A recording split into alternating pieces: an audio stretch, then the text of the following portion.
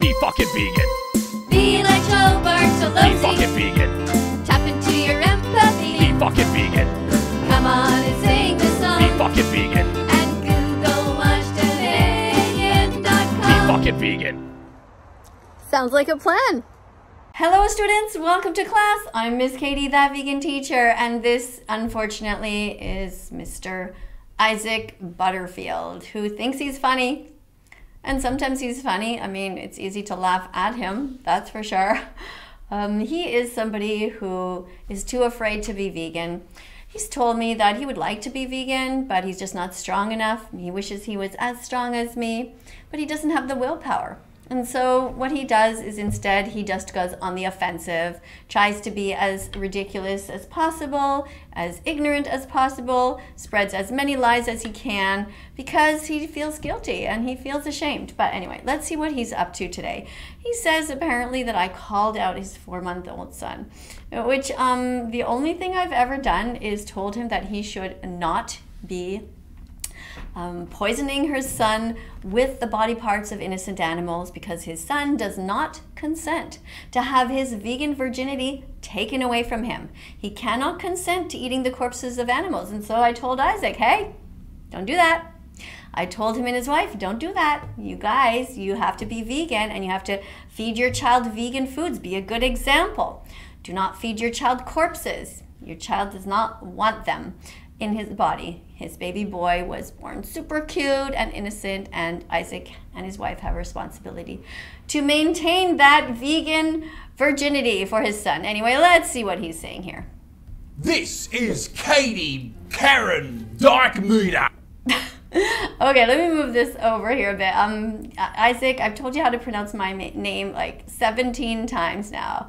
It is Diekmeyer, all right? I know you have problems learning things, you know, not not everybody is perfect, but you know, for the last time, okay? It is Kadie Diekmeyer. That's it. Miss Kadie Diekmeyer. Okay? Got it? All right, let's keep going. Ah, who is more commonly known world round as that vegan teacher? And this 68 year old woman. Okay. Actually, it's 108. You know, why not just say that while you're at it? Um, 58. Birthday is September 24th, 1964. has decided to attack my four month old son. Oh, what a little cute baby. And who's the ugly guy holding him? Oh my God. Oh my goodness, the poor child. Yeah, anyway, what can you do? You know, you, you need a license to drive a car, but anybody can stick their dick in somebody and produce a baby. She has called me out for my parenting techniques. Oh my goodness. Unfortunately, I guess this is his wife. Hmm. Yeah, it's too bad that she is as ignorant as he is, you know, but um, she can change. People can change. You know, her breast milk is vegan. A lot of people don't really understand that concept. So, the milk that she produces is vegan. It has all the B12 and all the nutrients that her baby needs. And following that, healthy vegan foods also have all the nutrients that this little cutie pie needs. Yeah, so everybody can be vegan no matter what stage of development they're at. Babies are, are vegan when they're born because they never want to hurt animals, and veganism is about ending the animal exploitation. It's about being kind, doing our best. So now, even this mom here, you know, um, she's probably super tired and not thinking straight, but hopefully one day she will realize that, yeah, she should not be uh, feeding her child any corpses. It's, it's unnecessary and it, it hurts the animals and the environment. The egg industry is just a cycle of misery. They lie to you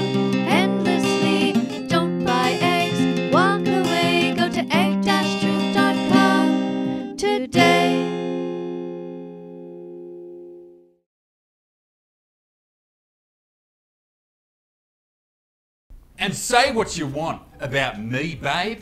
Say what you want about my values, what I eat. But don't you talk about my boy. Ooh, them's fighting words. Don't you talk about my boy. You come on camera though, and you talk about your child all the time. But we can't rebut, right? We can't say anything um, to try to help your child out. You know, it's not your child's fault that he was born in your family. This little innocent baby is going to be hearing from me for the rest of his life. He's going to know that I was here to defend him. That's the kind of video I made. I made a video saying, Hey, Atticus, I'm Miss Kadie, that vegan teacher, and I'm so sorry that I can't help you. Um, your parents, unfortunately, have the intention of feeding you corpses of innocent animals who died in gas chambers begging for their lives. Innocent animals who are just babies when they are killed, around the same age. Pigs are killed at six months, the same age as Atticus is right now. They put them in gas chambers. The poor pigs scream to death.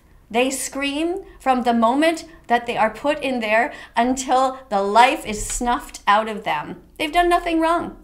And then his intention is to feed the corpses of these innocent animals to his child. Well, first of all, even if you don't care about animals and you just simply care about only your child, do not feed your child meat because meat is related to cancers, strokes, heart attacks, it's completely unnecessary. And meat such as bacon, sausage, ham, pepperoni, and salami is actually in a class 1 carcinogen category. That means that it is in the same category as cigarettes. Now, Isaac, I'm quite sure that you wouldn't just walk up to your baby and blow smoke into his face. Right? And if your wife had been pregnant and smoking, I'm sure you would have said something to her and made sure that she stopped. And yet you plan on feeding your innocent baby the corpses of animals? I mean, it's despicable. And in my view, it should be against the law because we have we know for sure that babies can be 100% healthy. All of these excuses that you make up, Isaac, are just BS. You just haven't researched properly. How on earth do you think that vegans end up in the Olympics, Isaac? How do you think that vegans end up being strong and healthy? Doctors and lawyers and teachers. And they are walking all areas of our lives. They are rich people, they are poor people. You know, there's also this myth that you have to have a lot of money. Beans do not cost a lot of money. Beans and rice together, and there are so many other ways to get protein. Tofu and lentils, all kinds of different things. Look, if I can be vegan, and I've been vegan for seven years, and I'm doing perfectly fine, and so is my husband, and so is my 83 year old mother in law, I think that you can also be vegan. I mean, if my 83 year old mother in law is tough enough to be vegan, mentally tough enough to just simply choose the soy milk instead of the cow's milk, I think, I think, Isaac, that you can do it too. You know?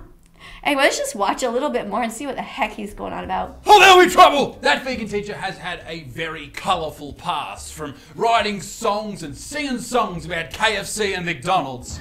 Three, two, one, sing. Eating animals is wrong, McDonald's. Hurting animals is wrong, McDonald's. KFC, we're so happy to be going cruelty free and changing our name to Kentucky Fried Compassion. Aw, ah, so many great memories. And then he talks about the time that I offered a 16 year old YouTuber some vegetables and fruits. Yeah, and apparently that's not okay. It's, it's a strange world we live in. Okay then. Yeah. Eating animals is wrong, Gordon Ramsay. The largest slice of pizza in the entire world. Again, you didn't say vegan pizza. You get another X. X. teacher wants me dead. SSSniperWolf, if you're watching this, if you don't wake up tomorrow, Oh, yeah, because I, you know, I think you guys feel the same way. If you think about the leader of Russia, for example, and you think about him not waking up, I think most people wouldn't mind, you know, considering the millions of deaths that he is part of right now. It's atrocious.